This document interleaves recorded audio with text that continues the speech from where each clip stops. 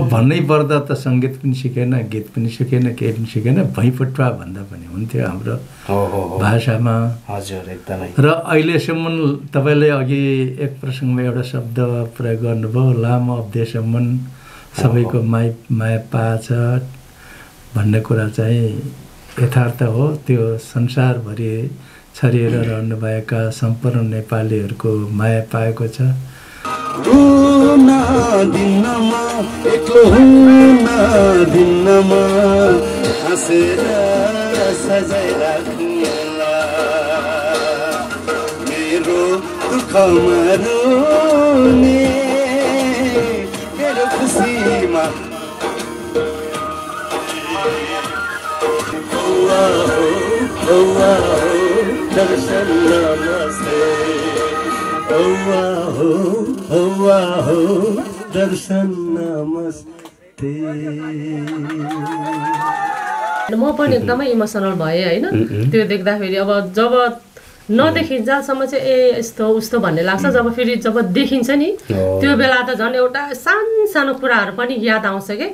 त्यो भएको हुनाले अनि जस्तो उसले त्यो घर डढेकोदेखि लिएर सबै होइन त्यो भिडियोमा आउँदा ऊ अब अफकोर्स त्यो बेलामा त म पनि एकदमै उ भएको थिएँ भाइ। साथीभाइसँग गयो भने सानो उमेरमा उचाइ बेलैमा आउने। वस्तु बाँध्ने बेला नभए नि। अरू दाजुहरू बरु अलिक ढिलो आउने। हजुर। कान्था त कान्थै भइहाल्यो। हजुर। अनि त्यस्तो थियो है छोरा। सुख दुःख बिसाउने साझा चौतारी विशाल चौतारी। आजको कुराकानीहरू चाहिँ अलिकति गाउँ विशेष गर्ने प्रयास गर्नेछु। किनभनेदेखि त्यो ठाउँमा होइन खोटाङमा हामी जन्मिएर हुर्किएको एउटा बाल्यकालको कुराहरू पनि रहनेछ। त्यो भएकोले गर्दाखेरि कुराको सुरुवात आमाबाटै सुरु गर्नु पर्ला। अलिकति राजेश दाईको बाल्यकाललाई अलिकति सम्झिन पर्दाखेरि मम्मी? ऊ अलिक चञ्चले चञ्चले थियो। हजुर। अनि त्यही हो। गाउँमा यताउता। कुदिने बेलुका साथीभाइसँग गयो भने सानो उमेरमा उचाइ बेलैमा आउने। वस्तु बाँध्ने बेला नभए नि। अरू दाजुहरू बरु अलिक ढिलो आउने कान्था त कान्थै भइहाल्यो अनि त्यस्तो थियो है छोरा अब बाबालाई पनि मैले त्यही नि सबैभन्दा अगाडि चाहिँ किनभनेदेखि धेरै कुराहरू त गाउँको कुराबाट पनि आइसकेको छ आज चाहिँ अझ हामी राज दाईको डिटेल्ली कुराहरू गर्नुपर्दाखेरि किनभनेदेखि गायन क्षेत्रमा दाईले बनाउनु भएको जुन नेपाली गीत सङ्गीतलाई उर्वर बनाउनु भएको छ र यति लङ टाइमसम्म पनि निरन्तर सेवा नि गरिरहनु भएको छ नि त त्यो भएको हिसाबले गर्दाखेरि बाल्यकालको टाइममा चाहिँ गीत सङ्गीतको मोह चाहिँ कतिको थियो? पाइहाल्छ। गाउँमा त त्यस्तो थिएन। हजुर। मेरो बाबा भने समाज सेवा र राजनीतिमा गर्नुभएको। हजुर। अनि म पनि त्यही लाइनमा लाग्ने इच्छा गरेँ। हजुर। अनि हामीलाई विश्वभरिको समाचार रेडियोको समाचार नेपालको समाचार चाहिँ अनिवार्य जस्तो लागेर रेडियो चाहिँ थियो हाम्रो बाबाकै पालामा पनि थियो। हजुर। त्योभन्दा पहिला त फोनग्राफ भन्ने थियो। त्यो फोनग्राफ त राजेशले देख्नु पाएन। हजुर। अनि त्यो रेडियो भएपछि चाहिँ समाचार आउँथ्यो अनि फरमाइस गीत आउँथ्यो। रेडियोमा नाम आउँथ्यो ए कति ह कति फल्ना ठाउँ बस्ने फल्नाले यो फल्नाको गीत फरमाइस गर्नुभएको छ फल्नाले। भनेर गर्थ्यो। अनि त्यो रेडियो चाहिँ समाचार आउने बेलामा चाहिँ सुटुक्क या सिक्कामा झुन्डै राख्यो। ल्याउँथ्यो। बा हामी छौँ भने न छैन भनेदेखि ऊ कता कता जाँदा डुलाउँथ्यो फिलिस भन्ने रेडियो थियो। त्यतिखेर पछि पानासोनिक आयो। हजुर र त्यसबाट अलिकता त्यसलाई प्रेरणा मिल्यो भन्ने लाग्छ। त्यो टाइममा। त्यो टाइममा। अब भन्नै पर्दा त सङ्गीत पनि सिकेन गीत पनि सिकेन केही पनि सिकेन भैँपुट्वा भन्दा पनि हुन्थ्यो हाम्रो भाषामा। हजुर एकदमै। र अहिलेसम्म तपाईँले अघि एक प्रसङ्गमा एउटा शब्द प्रयोग गर्नुभयो लामो अब्देसम्म सबैको माइ माया पाछ भन्ने कुरा चाहिँ यथार्थ हो। त्यो संसारभरि छरिएर रहनुभएका सम्पूर्ण नेपालीहरूको माया पाएको छ श्रोताहरूको माया पाएको छ। उसले संसारको नेपालीहरूको मन जित्नु सफल भएको छ। र त्यही त्यसैको फलस्वरूप उसले चाहिँ अहिलेसम्म टिकिया छ र अझै टिकोस् हाम्रो शुभकामना पनि छ। एकदमै। अब नमिता नानातिर आउनुभन्दा अगाडि अब सबैभन्दा अगाडि चाहिँ अब कङ्ग्रेचुलेसन नै भन्नु पऱ्यो हजुरहरू दुवैजनालाई किनभनेदेखि यो न्यू हाउस किनभनेदेखि यो अहिले ठ्याक्कै हामी पहिले चाहिँ अल्ट्रो सटमा हुनुहुन्थ्यो। यो ठाउँ चाहिँ ठ्याक्कै मलाई पनि ठ्याक्कै थाहा चाहिँ भएन तर एकदमै कङ्ग्रेचुलेसन अ, यो ठाउँ चाहिँ ब्ल्याक वाटर क्याम्बली भन्छ। हजुर क्या धन्यवाद हजुर। अ, अ, क्याम्बली भन्छ ब्ल्याक वाटर क्याम्बली। तर फार्मरको नजिकै। हाम्रोको नजिक हजुर एकदमै। अब ठ्याक्कै बाल्यकालको कुराहरू हामी गरिरहँदाखेरि होइन नानाको बाल्यकाल चाहिँ कसरी बित्यो? हामी त त्यही हो नि गाउँमा जसरी बित्छ अरू केटाकेटीको त्यही नै हो। भन्दा पनि अब बल्याएको पनि भन्नुभयो उहाँहरू राजनीति समाजसेवामा हुनुहुन्थ्यो। त्यो हिसाबमा चाहिँ अलिकति हामी के भन्ने अब अलिकति बिजी। किनभने अब गेस्टहरू आउनुहुन्थ्यो अब कार्यकर्ताहरू आउनुहुन्छ उहाँहरूलाई पनि अलिकति अहिले जस्तो सायद थिएन होला छ छैन थाहा छैन अहिलेको राजनीति गाउँमा के छ होइन? तर हामीले त्यो बेलामा चाहिँ अतिथि देव भव भन्ने खालको थियो। अनि हामीले चाहिँ एकदमै चाहे छियादेखि स्टार्ट सत्कार होइन? उहाँहरूलाई राम्रोसँग अब कसरी हुन्छ अतिथ्य मतलब हुन्छ नि उयो गर्नको लागि चाहिँ हामी त्यस्तो गर्दाखेरि त्यो हिसाबमा नि बिजी थियो अरू त्यही हो गाउँले जीवन त्यही नै हुन्छ। राज दाईसँगको चाहिँ किनभनेदेखि बाल्यकाल लगभग सँगसँगै नि कति मभन्दा चाहिँ ऊ चाहिँ यस्तो हो मभन्दा? अर्को छ रबिन अनि। रबिन भन्दा ऊ हो हजुर हजुर भनिसकेपछि भाइलाई बोकेर कतिको हिँड्यो कस्तो थियो नाना बाल्यकाल त्यो त भइहाल्थ्यो होइन। अब उनीहरू सानो सानो अब सानोमा त अरू लुकाफर गर्ने मान्छेहरू पनि हुनुहुन्थ्यो कति त होइन। सघाउनुहुन्थ्यो। अनि त्यस पछाडि अलि अब हिँड्ने ऊ हुने भएपछि त हामी गर्थ्यौँ हजुर त्यो ठाउँमा किनभनेदेखि हामी पनि बिहेको टाइममा हाम्रो एडमिन भतिजको बिहेमा चाहिँ हामी जाँदाखेरि त्यहाँको सम्पूर्ण माटो त्यहाँको रहनसहन कुराहरू हामी हेर्दाखेरि त्यो ठाउँहरू सबै अहिले पनि मलाई झल्झली आइरहेछ भनिसकेपछि तपाईँ कतिको मिस गरिरहनु भएको छ म त? यति मिस गरेको छु है किनभने म त्यहाँ खोटाङ नगएको मेरो माइती घर नगएको सायद दुई दशकभन्दा बेसी भयो दुई दशक साढे दुई दशक नै भयो होला भनेपछि Oh. यति मिस गर्छु तर मैले सोधि पनि राखेको हुन्छु। अनि उताको उत्तर चाहिँ के हुन्छ भने जुन तिमीले सोचेको गाउँ अहिले छैन। अभियसली मैले। पनि हेरेर हुन्छु कति युट्युबहरूमा अहिले त सजिलो छ। भाइहरू जस्तो होइन सबैजना। जानुहुन्छ देखाउनुहुन्छ अनि त्यो हेर्दाखेरि त अभियसली बाल्यकाल एकदमै मिस हुन्छ गाउँघर मिस हुन्छ होइन आफ्नो साथीहरू मिस हुन्छ। राज दाई कतिको चकचके हुनुहुन्थ्यो अँ चक्चके अँ। ठिकै एकपल्ट चाहिँ त्यसको। भएको थियो क्या? के भन्छ त्यो मैले पहिला अ, विश्वजीकोमा इन्टरभ्यूमा पनि भनेको थिएँ। त्यो चाहिँ मेरो उसले पनि त्यो कुरा गरेको थियो कि कल्पना भन्छ मेरो काकाको छोरी। अनि तिनीहरू चाहिँ सँगै सँगै थियो क्या। अनि त्यो कुद्ने क्रममा चाहिँ उसले पुस गरेर त्यो उसको खुट्टा भाँचिएको थियो है। त्यो बेलामा चाहिँ म टिचर बनाएको थिएँ कि उसको। किनभने स्कुल जानु पाएन नि त एकदमै रमाइलो किस्साहरू छ होइन। त्यो हामी तपाईँहरूलाई एकदम धेरै हामी सेयर गर्नेछौँ अझै धेरै। अब डम्बर बहादुर राई भेनाज्यू हुनुहुन्छ होइन? हजुरको चाहिँ ठ्याक्कै बाल्यकाल कसरी बित्यो अनि कहाँनिर बित्यो? मेरो जन्म त अब इलाम हजुर, जितपुर। भन्ने ठाउँमा हो। बाल्यकाल नर्मल अब केटाकेटी। कसरी हुर्किन्छ होइन। सानो गुच्चा खेलेदेखि लिएर अब। पढ्दै जाँदाखेरिको अवस्था त्यस्तै हो। अम, त्यहाँ पछाडि गयो घरमा गइयो। घरमा। गइयो।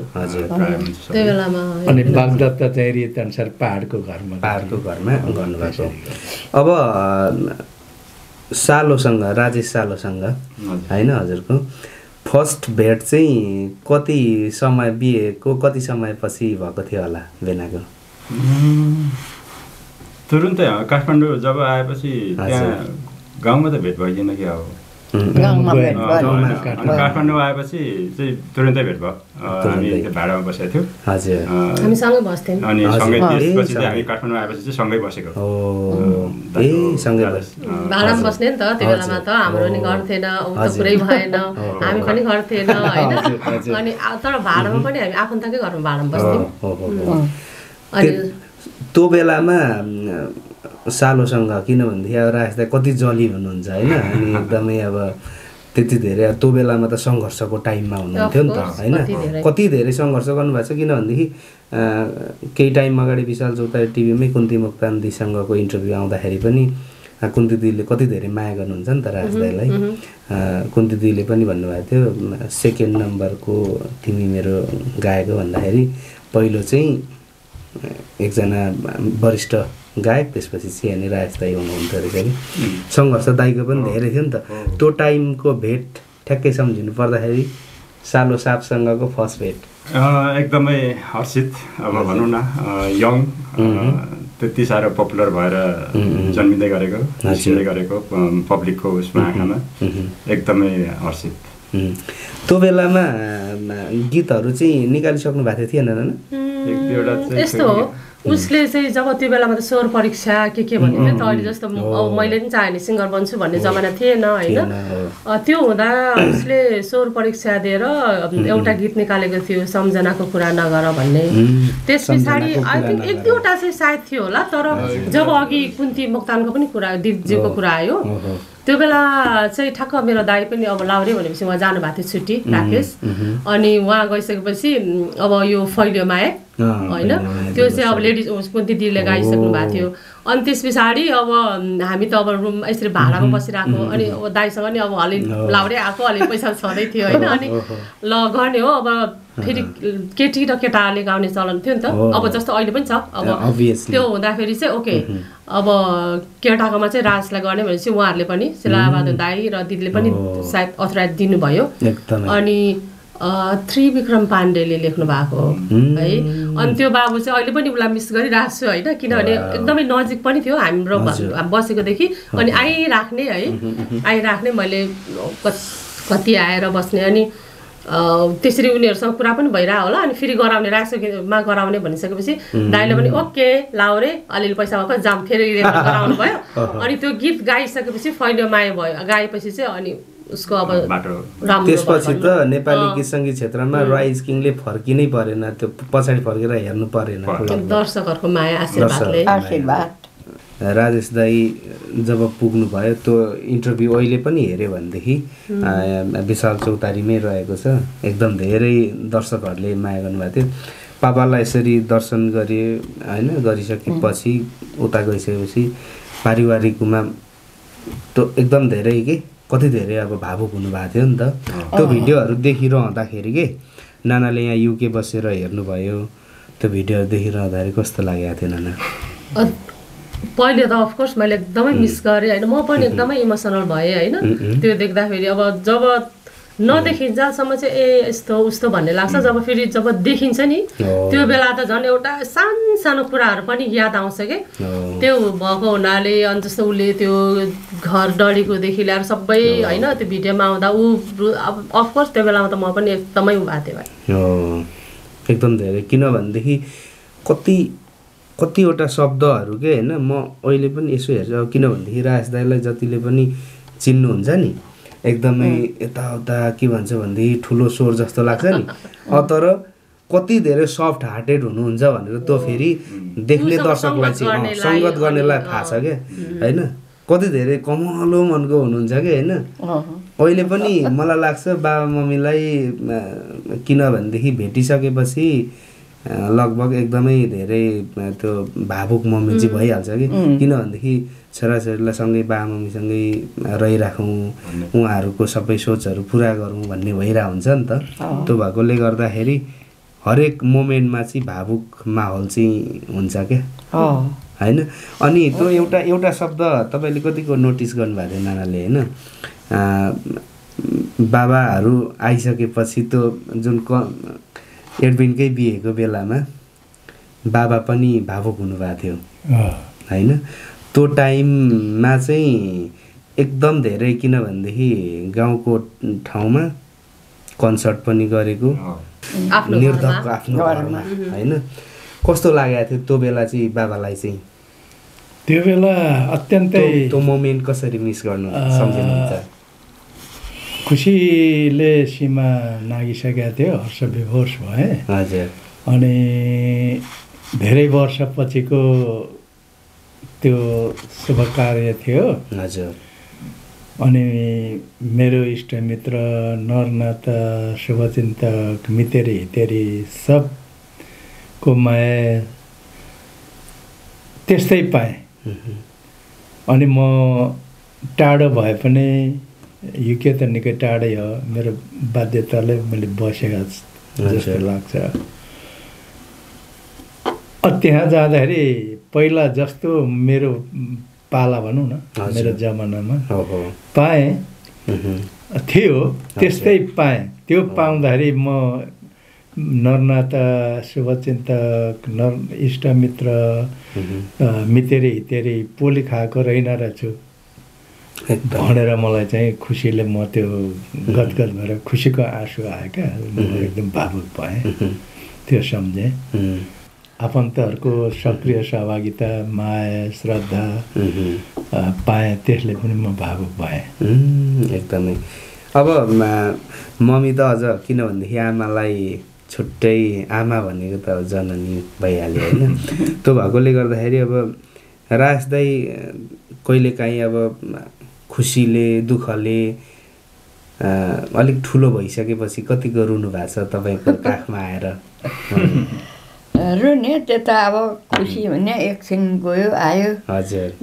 दिदीहरू भाइहरूसँग खेल्दै जाने खेल्दै आउने त्यो त हजुर। भयो नि। पछि अहिले किनभनेदेखि ठुलो हुँदाखेरि पनि अहिले पनि त्यो एउटा भावुकनेस चाहिँ जहिले पनि दाइमा त्यो देखिन्छ नि त। होइन होइन त्यो भएकोले गर्दाखेरि त्यो चाहिँ कतिको हुन्छ? हुन्छ उसले माया गर्छ सबैलाई। आमा बाबु दिदी भाइ दाजु सबैलाई। उसको त्यो चाहिँ नम्रता छ मन क्या। एकदम कौलो मन कमलो मन कमलो मन त्यो कमलो मन चाहिँ कतिको नाना तपाईँसँग चाहिँ अझ तपाईँसँग त अब अभियसली अब हामीलाई थाहा छ होइन अब डनै हुनुहुन्छ घरको होइन नाना कस्तो छ होइन त्यो कोमलता। कोमलता कति धेरै छ नि त नाना होइन? तर अब यस्तो छ त्यो आउँछ कमल पनि कमलता त उसले देखाउँछ। तर कहिले कहिले चाहिँ कति कुराहरू चाहिँ उसले अब देखाउनु पनि चाहँदैन होइन? उसले हो। "अ, मलाई यस्तो भनिन्छ ए तपाईँलाई स्ट्रेस हुन्छ? यो नगर्नु स्ट्रेस नलिनु खालको कुरा गर्छ होइन। हामी कहिले कहिले अब कुरा गरिरहेको हुन्छ फोनतिर कुरा गरेर कहिले कहिले हामी एक घन्टा डेढ घन्टा पनि कुरा गरेर हुन्छ कि। त्यो बिचमा त कहिले अब भावुक पनि हुन्छ कहिले के कुरा हुन्छ कहिले के कुरा हुन्छ अनि फेरि पछि चाहिँ उसले फेरि मलाई पनि अब प्रेसर थियो या त यो भने चाहिँ टेन्सन नलिनु है तपाईँलाई त म त आजभन्दा कति कुरा सेयर पनि गर्दैन तपाईँ धेरै सेयर गर्नु गर्नुहुन्छ भने फेरि उसले अल्टो फेरि मलाई बरी गर्छ कि। एउटा गाउँको त्यो कन्सर्टको एउटा गीत थियो क्या नाना? त्यो गीतमा चाहिँ कुन टाइममा रुनु भएको थियो त्यो पनि मलाई मैले नोटिस गरेको छु कि होइन। रुन दिन्न म एक्लो हुन दिन्न म, भन्ने शब्द। होइन। त्यो कतिको फिल चाहिँ रहन्छ नाना? अफकोर्स रहन्छ नि त्यही भने नि त मैले त्यो हेर्दा अनि सबै त्यो माहौलहरू हेर्दा त्यो ठाउँ मिस गरेँ मैले आफन्तहरू मिस गरेँ अनि एट द सेम टाइम्स त्यो वर्ड अनि उस ऊ भावुक भएको देखेर म। त आफू पनि त्यसै पनि भएँ। म पनि फेरि त्यस्तै छु क्या अलिकति केही हो भने। ऊ भइहाल्छु कि। म पनि स्ट्रङ छु। बोल्दा हेर्दा अब फेरि ए कस्तो छुच्चो भने जस्तो लाग्छ तर फेरि केही पऱ्यो भने भइहाल्छ। छोराछोरीहरू सबै हजुर।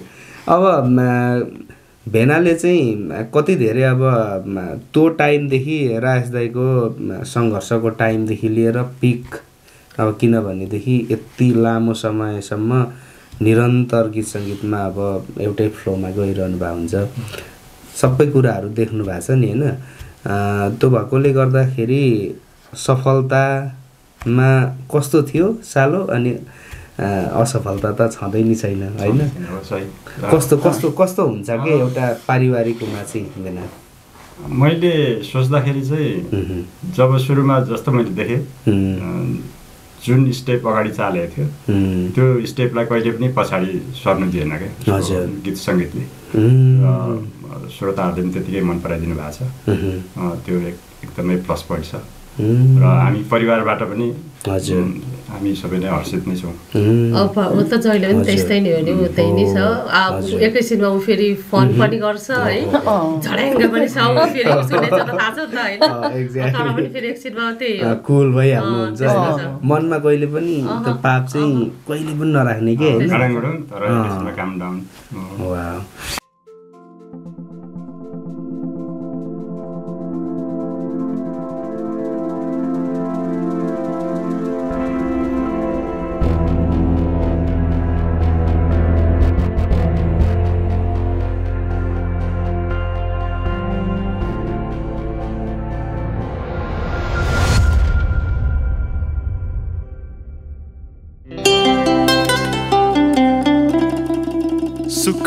बिसाउने साझा चौतारी विशाल चौतारी।